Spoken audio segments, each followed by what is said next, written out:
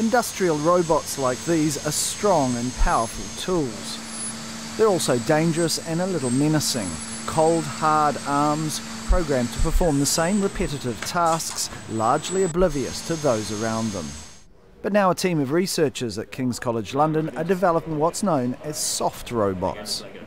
So a soft robot is inherently safe because a soft robot, when it bumps into you, it will be soft, it will bounce off you. What we'd like is to be able to make um, systems that humans can collaborate with, people can work together with a robot, and you don't have to have the fear that the robot is going to crush somebody if, if the robot is soft.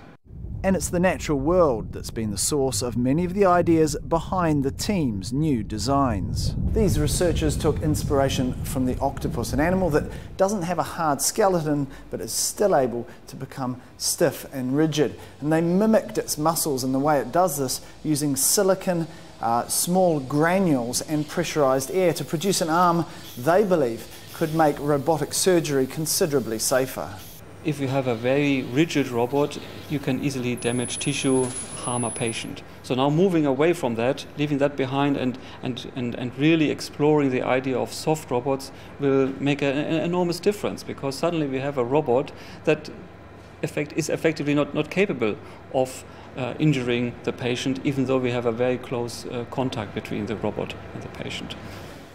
They're also looking at the hooves of goats.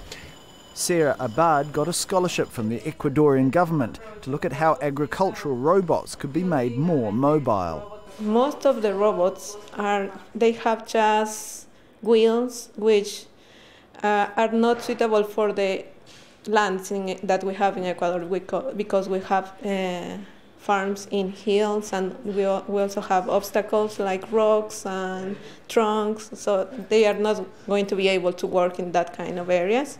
Other members of the team are looking at human arm muscles to better understand how they work with tendons to control limbs. Others are using a robotic finger to mimic the way doctors feel for lumps beneath the skin, a level of sensitivity not normally associated with machines. These innovations and techniques are still years from being rolled out, but the team believe they will form the basis of a new generation of softer and more friendly robots. Tarek Bazley, Al Jazeera, London.